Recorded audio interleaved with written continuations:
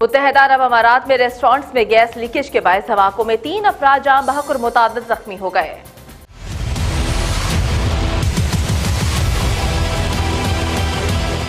अरब media के मुताबिक Abu Dhabi की Sheikh Rashid bin Saeed road पर वाक़ रेस्टोरेंट में धमाका हुआ, जिसके नतीजे में दो अफराज जांबाक हुए। हुकाम ने बताया है कि अबू जहबी में होने वाला धमाका इस कदर शदीद था कि वहाँ मौजूद दुकानों को भी शदीद नुकसान पहुँचा। अरब खबर इसा इदारे के मुताबिक पुलिस ने राशिद बिन सईद स्क्वायर में वाक़ मुतासरा इमारत को खाली करवा लिया है और उसके करीबी इमारतों का भी जायजा लिया गया है। हुकाम के मुताबिक रेस्टोरेंट में धमाका गैस पाइपलाइन में लीकेज के बायस हुआ।